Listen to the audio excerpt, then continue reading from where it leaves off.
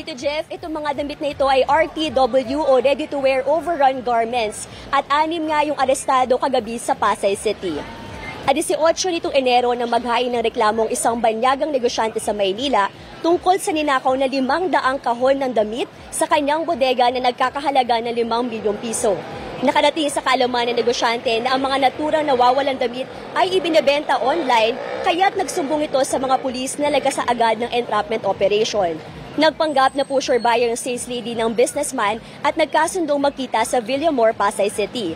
Dito na nahuli ang anim na suspect at na-recover sa kanila ang labing limang kahon ng nakaw na RTW na higit isandaang libong piso ang halaga.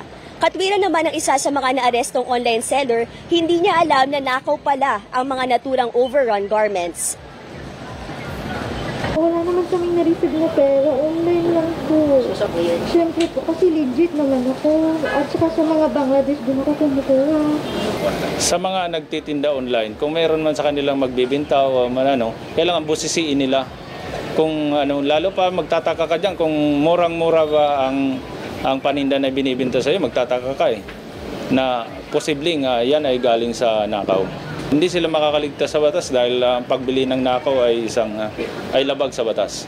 thousands of our boxes and and and millions of our stocks they, they still last for years. Just just i would request to the administration to the police officers to stop them. But but uh, i want to i want to thanks all thanks the policemen that they are they are they they coordinate me they help me last last 5 days Tito Jeff, mahaharap ang mga suspect sa kasong paglabag sa Presidential Decree 1612 o Anti-Fencing Law. Nagsasagawa naman ngayon ng follow-up operation ng mga otoridad upang ma-recover pa ang ibang mga nakaw na damit. Tito Jeff? Karen, sa investigasyon ng mga polis, paano nagawang manakaw ang limang daang kahon? Ano yung naging proseso umano ng mga sospek? Yes, Tito Jeff, ayon nga dun sa investigasyon ng pulisya at pati ba, maging na rin yung sabi ng complainant natin, eh yung kanilang um, gate o yung gate ng kanilang bodega sa warehouse, sinira yung padlock.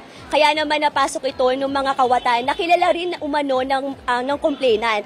Dahil doon lang din sa kanila ng area nang galing itong mga nagdanakaw nitong mga boxes na ito. At sabi nga niya, hindi lang ito yung unang beses o unang pagkakataon na sila ay ninakawan. Dahil simula lang siya ay magnegosyo dito noong 2016, paunti-unti na may kumukuha ng mga gamit o yung mga damit nga na ito sa kanilang bodega. So itong mga kahong limang daang kahon, hindi naman one time, big time na kinuha. Ganun ba yun? Paunti-unting nawawala? Yes, Tito Jeff. Pero ngayong pagkakataon na ito, eh mas marami na nga yung mga boxes na nakuha at lumaki na yung halaga na umabot pa sa limang milyon. Kaya naman nagdesisyon na itong complainant natin na magreklamo at dumulog na sa pulisya para nga ah, masawata na itong mga kawatan na ito. Thank you very much. At po ang ulat ni Karen De Guzman.